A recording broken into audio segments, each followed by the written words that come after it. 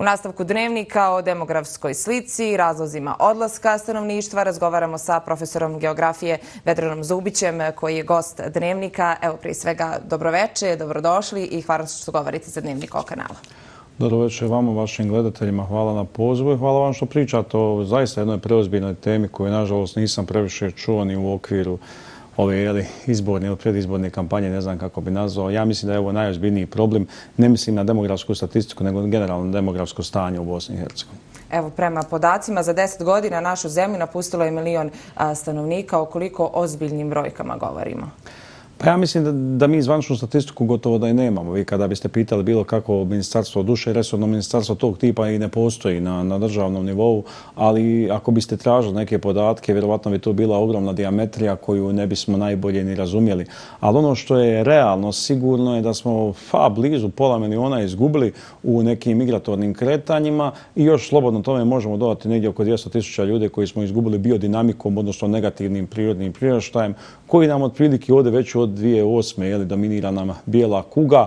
Evo, prošle godine izgubili smo na taj način, rodilo nam se oko 26, umrlo 48 tisuća ljudi, eto možete sami začunati minus 22 tisuće, znači između dva popisa izgubimo suštinski jednu Tuzlu, jednu Banja Luku. Ja bih rekao da je 700 tisuća ljudi realna cifra e, manjka u odnosu na ono što smo imali na popisu 2013. godine. E, još je neizvjesno hoće li biti proveden popis e, naredne godine, ni onom od prije deset godina e, nemamo rezultate. Znamo li uopšte koliko nas je?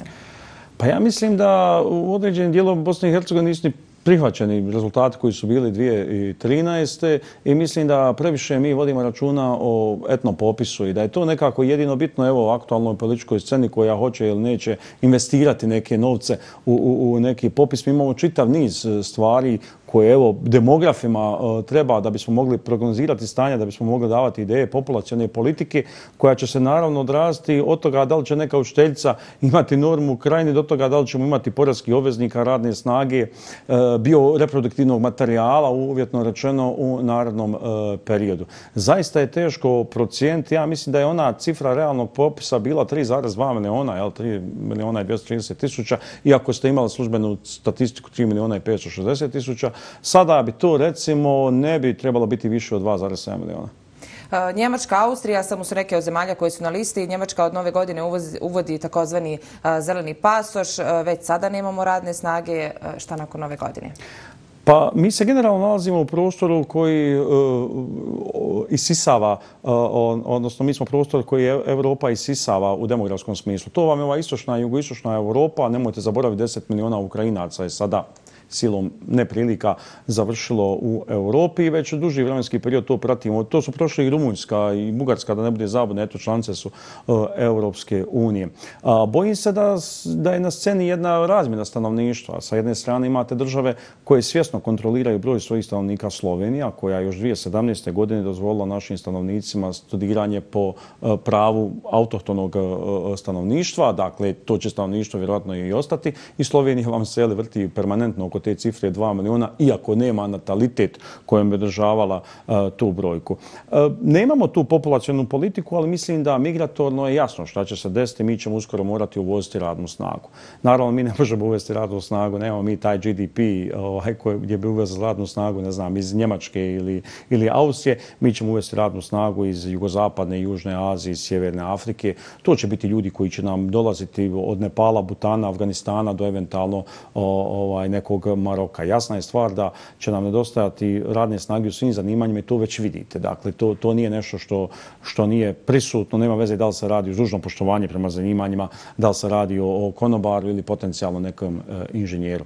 Vjerovatno će i demografska e, skrna slika pod navodne znake biti promijenjena, ali zaista ne možemo očekivati da jedan divan prirodni prostor Posavini, na primjer, duže vremenski period e, ostane prazan. To što ga mi nismo htjeli, nismo znali ili nismo mogućnosti bili obrađivati, ne znači da neko drugi neće. Bojim se da se nalazimo u jednom periodu permanentnih migratornih e, kretanja gdje ovaj dio Evrope će se malo ipak e, promijeniti kada govorimo o, o, o to, evo, toliko pričanoj etničkoj strukturi stavništa. Možda ćemo i mi morati razviti neki, neki gete gdje će ljudi učiti nek, ovdašnje jezike, evo tako mogu uh, reći i ne znam, vjerovatno će naša ministarstvo morati uh, nosificirati neke diplome, neki ljudi koji će uskoro dolaziti. Prepostavljam prvo neki građevinski radnika i slično. Znate šta mi je žao? Da, da danas, odnosno prije par dana čujem da neki čovjek iz Zenice traži da mu vlada Zedo kantona subvencionira radnike iz Turske da im daje po tisuću maraka, a u isto vrijeme smo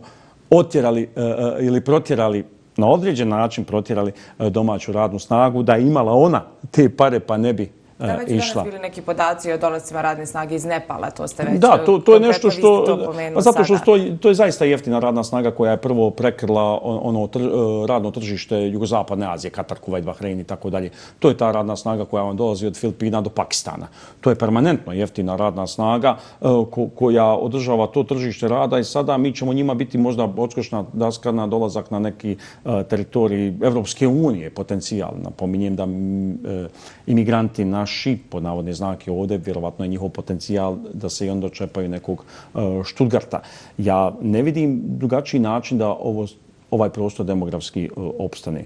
Naš e, e, natalitet je takav da, da, da se nalazimo e, u obratnom elementu u odnosu na prije četvrt stoljeća. Vi ste 96 imali 46 tisuća rođenih, 25 tisuća umrli. Dakle, skroz kontra imamo pojavu. Više smo, dakle, vjerovali u, u ekonomsku ili političku budućnost države ratne 95. nego e, četvrt stoljeća a, poslije. A kako, evo, e, zaustaviti taj trend iseljavanja? Da li uopšte mladi imaju priliku da, da rade i da zarade platu?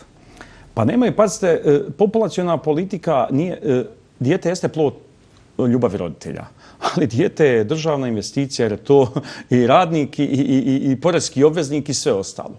Vi to nemate. Ja ne vidim jednu ideju, pazite, ove populacijne politike nam, ove ad hoc rešenja koje vam dadnu, ne znam, neka općina dadne 500 maraka ili sad imaju neki, neki kantoni koji dadnu, ne znam, po 1000 maraka mjesečno. Ok, je to ideja, ali to neće zadržati ljude, niti će povećati natalitet značajno. Nama trebaju ozbiljne mjere populacijne politike koje, na primjer, ima Mađarska, znači ovo subvencioniranje e, e, uh, brašnih zajednica, davanje kredita, otplata 50 godina, prvo, drugo, treće dijete, da sad ne uzimam vrijeme ovaj, ni vama, niti maltretiram gledatelja, ali imaju ideje kako se to radi populacijno. Migratorno.